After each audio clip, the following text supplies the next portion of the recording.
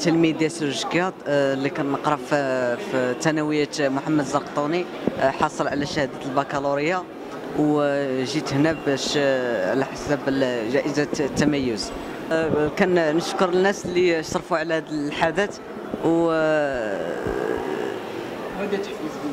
و على هذا الحدث باش يحفزونا ويشجعونا باش نتقدموا أكثر في السنوات القادمة. شكرا بزاف. السلام عليكم ورحمة الله تعالى وبركاته. اسمي هيثم ياسين أجاعة. تلميذ آه، حاصل على أول معدل إقليميا متوسط 49 آه، شعبة علوم رياضية ألف خيار فرنسي. اليوم كيتم التتويج ديال الأول آه، الأول- الأولين في كل شعبة من الشعب في السنة البكا في في بكالوريا. إحنا فرحانين بزاف بهذا التتويج اللي اللي تم فيه تقديم مجموعة من الجوائز وحضور مجموعة من الفنانين والموسيقيين وأيضا تم تلاوة آيات حكيمة من القرآن آه، من القرآن الكريم. آه، اغتنمت المديرية الإقليمية لوزارة التربية الوطنية والتعليم الأولي والرياضة.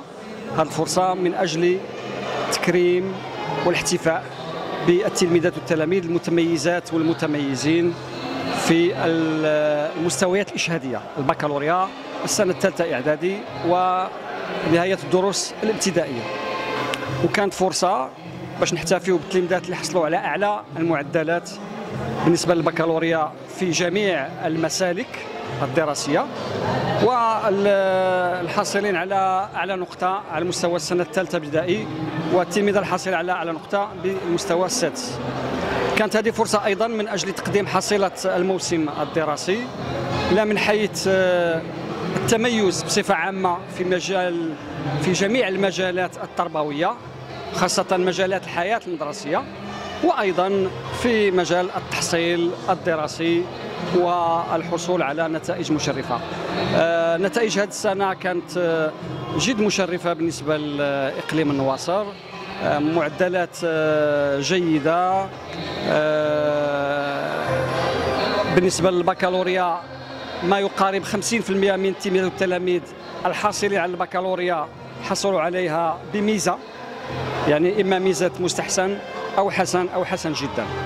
وهذا معيار من المعايير التي تثبت آه، أن المدرسة العمومية المغربية لا زالت بخير ونتمنى لها آه، التوفيق إن شاء الله ومزيد من التألق آه، في إطار تنزيل مقتضيات القانون الإطار وخارطه الطريق وتحت التوجيهات السامية لصاحب الجلالة محمد السادس نصره الله